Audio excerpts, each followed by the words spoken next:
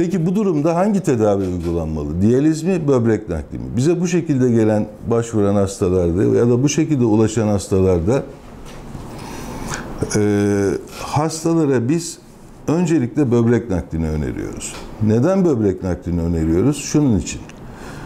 Diyaliz şöyle bir tedavi yöntemidir. Artık bu maddeler, bu toksik maddeler vücuttan atılamadığı için e, bir makine tarafından kanın içinden geçtiği bir makine tarafından ve makinenin içindeki değişik filtreler tarafından e, bu maddelerin kandaki e, düzeyi düşürülmeye çalışılır.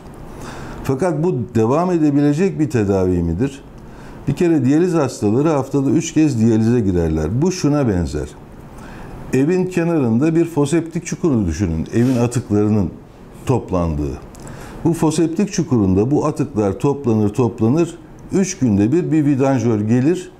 O atıkları temizler. İşte bu vidanjör aslına bakarsanız diyaliz makinesidir.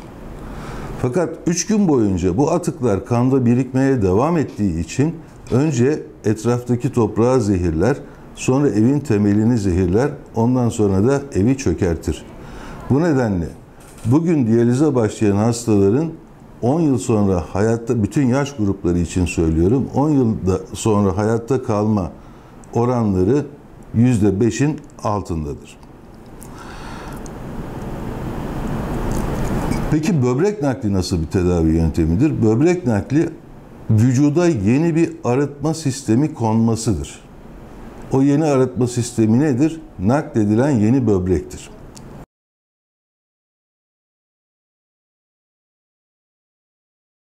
Peki e, diyalize göre avantajı nedir böbrek naklinin? Tam da dediğim gibi yani başarılı bir böbrek nakli yapılan hastalarda artık bu toksik maddeler, bu zehirli maddeler vücut tarafından üretilen ya da dışarıdan alınan zehirli maddeler kanda birikmez.